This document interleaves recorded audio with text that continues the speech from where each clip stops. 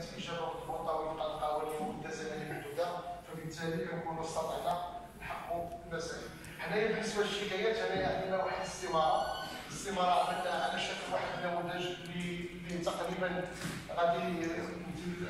لا سيد الرئيس ولا الساده الموظفون اللي في العمل اللي كنشتغلوا اذا جا مواطن مثلا وجاب شكايه شفويه حنا كنشبروا ديك الاستماره وكيجلس معنا في المقعد الكرسي ديالو وكنعمروا له ديك الاستماره بالهوية ديالو ورقم البطاقه والهاتف المحمول والبريد الإلكتروني وكنديروا له العنوان والموضوع ديال الشكاية والموقع ديال الشكاية والمصلحه المختصة.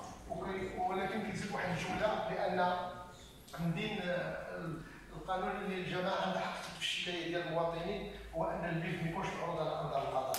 وبالتالي هو كيدير واحد التصريح كيقول بصفة صاحب الشكاية آه، أشهد على نفسي أن موضوع هذا الشيء غير معروض على انظار القضاء